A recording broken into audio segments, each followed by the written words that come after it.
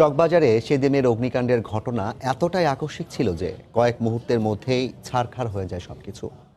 কিছু বুঝে ওঠার আগেই পুরে অঙ্গার হয়ে যান অনেকে তাৎক্ষণিক প্রতিক্রিয়া যারা পালাতে পেরেছেন, তারাই ফিরেছেন, প্রাণে বেঁচে চকবাজারের চুরিহাট্টার রাজমহল রেস্তোরাঁয় সে রাতে রোজকার মতোই ভিড় করেছিলেন গ্রাহকরা। খাবার তৈরি ও পরিবেশনে ব্যস্ত ছিলেন রেস্তোরাঁর কর্মীরা।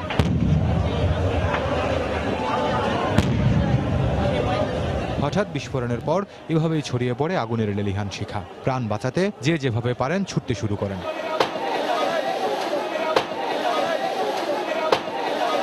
সেদিন ওই রেস্তোরাঁ থেকে ভাগ্যক্রমে বেঁচে ফিরেছেন যারা তাদের হৃদয়ে দগদগে সেই স্মৃতি। এটার আগুনই ওটা থেকে মানে ওটাতে যায় তারপর ওখানে দোকানে যতজন ছিল হোটেলে সবাই মোটামুটি আপনার স্পট ডেথ বলা যায়। বিভিন্ন দোকানগুলোর ভিতরে যারা ছিল সমস্ত লোকগুলো পুড়ে ছাই হয়ে গিয়েছে।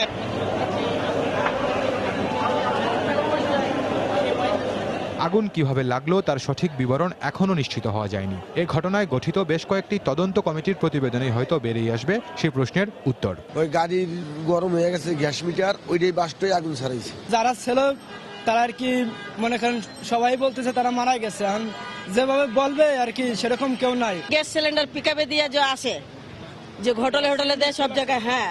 ওইটা বলে কোনো লিক ছিল ওটা লিক নেওয়ার পর তারপরে সাপ্লাই দিছে ওটা বলে ভাস্টিক হওয়ার পরেই এরকম হয়েছে। সর্বনাশা আগুন যেন আর কোনো প্রাণ কেড়ে নিতে না পারে, সে নিশ্চয়তা চান পুরান ঢাকাবাসী। খান মোহাম্মদ রুমেল, সময় সংবাদ, ঢাকা।